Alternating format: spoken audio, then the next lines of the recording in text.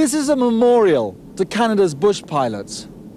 I'm standing above the Back Bay in Yellowknife, the capital of the Northwest Territories of Canada.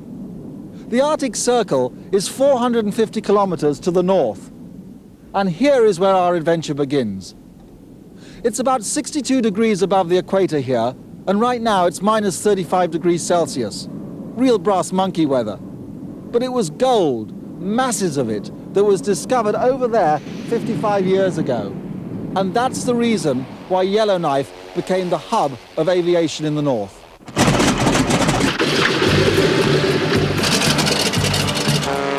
Way up north, the cold wind blows. Take a walk, you freeze your toes, and in the ocean, only icebergs to be seen. In the land of the wireless radio, there's only one way you can go, and the distance to your neighbor is extreme.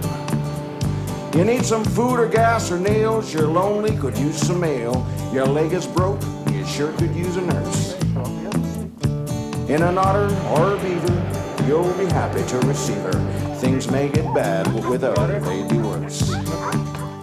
She's an ambulance, a zoo, she is everything to you. Though she makes some scary noises and she's never warm and dry. She's a truck and a canoe, she's a postal service too.